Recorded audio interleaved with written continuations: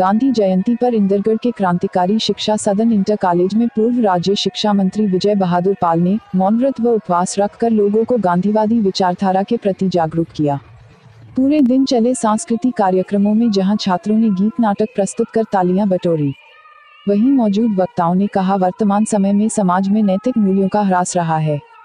राजनीतिक का गिरता स्तर व चारित्रिक पतन, समाज में फैला भ्रष्टाचार, जातिवाद, धर्मवाद में फंसी राजनीति, इन सब बिंदुओं पर समाज के हर व्यक्ति को आज चिंतन करने और गांधी जी की विचारधारा को आत्मसात करने की ज़रूरत है, तभी हम गांधी जी के सपनों के भारत का निर्माण कर पाएँगे।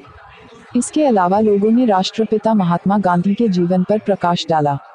इंडिया टॉप न्यूज़ से, रिपोर्टर अतुल शर्मा के साथ ज्ञानेन्द्र दुबे की रिपोर्ट टिलवा कन्नौज।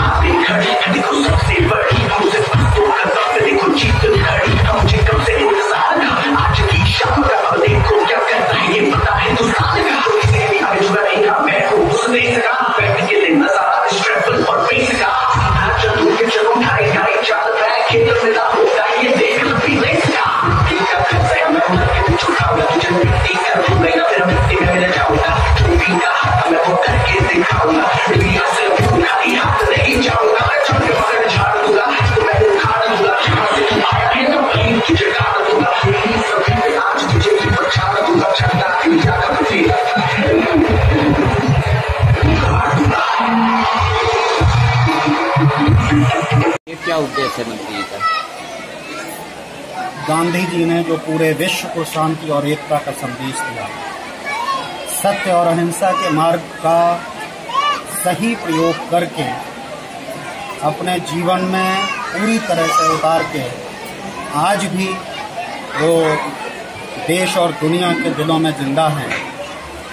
उनका भाईचारा, शांति, एकता, सद्भावना और समाज के लिए बड़ी बड़ी चीज़ें करने का वो सब चीज़ें ज़िंदा रहें।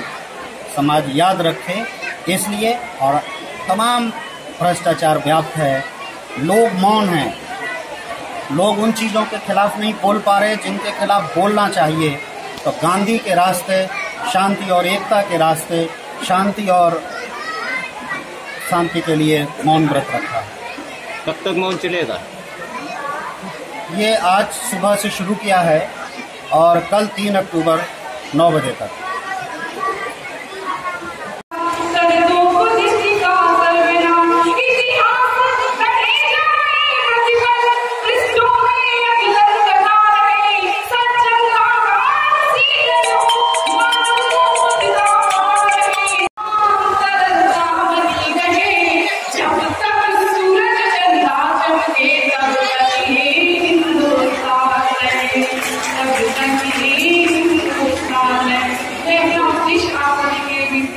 Gaga.